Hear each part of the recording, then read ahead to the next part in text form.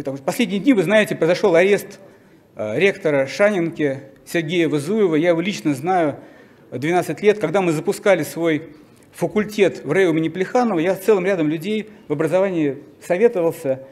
И это один из таких э, выдающихся государственных людей, который имеет и государственные награды, и человек, который действительно любит образование, понимает в вузовском образовании, сделал целый ряд курсов таких современных, прогрессив, прогрессивных, и то, что этот человек, э, его обвиняют, его вуз, там, то, что они украли 21 миллион рублей, это просто, конечно, позорно. И когда человека такого возраста и такого уважаемого вытаскивают из постели больного, тащат в суд, это какой-то действительно э, явный дисбаланс в современной системе э, не только силовых органов, но и образования.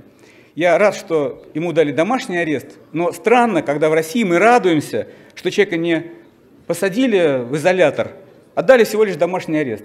Вот такая радость у нас